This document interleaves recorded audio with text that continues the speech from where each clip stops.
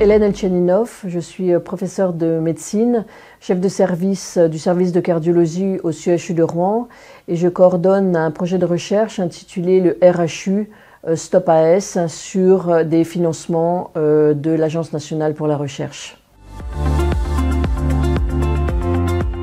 Les valvulopathies sont donc les maladies des valves cardiaques. Les valves cardiaques sont au nombre de quatre. Chaque valve est un clapet entre deux cavités du cœur ou une cavité et un vaisseau et elles assurent la circulation du sang dans le bon sens.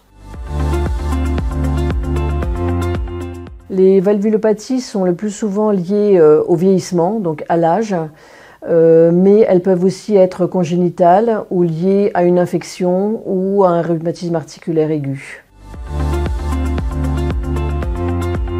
Une valvulopathie peut rester très longtemps euh, bien supportée, c'est-à-dire que le patient n'a aucun euh, symptôme. Sinon, les symptômes sont essentiellement l'essoufflement, donc qui vient au début à l'effort et puis qui est de plus en plus fréquent pour des efforts moindres. Ça peut être également une douleur dans la poitrine, un malaise ou une perte de connaissance. Parmi les valvulopathies, euh, la valvulopathie la plus fréquente est le rétrécissement aortique. Euh, qui est vraiment lié au vieillissement, suivi euh, par euh, l'insuffisance mitrale.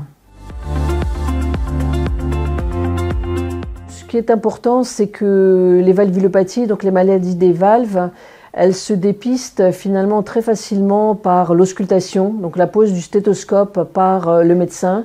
Et ce que l'on voudrait par nos actions, c'est informer le grand public de la possibilité d'avoir une valvulopathie et que euh, les symptômes, l'essoufflement, la douleur de la poitrine ne soient pas simplement attribués à l'âge et que euh, cela pousse la personne à consulter au moins un médecin pour se faire ausculter.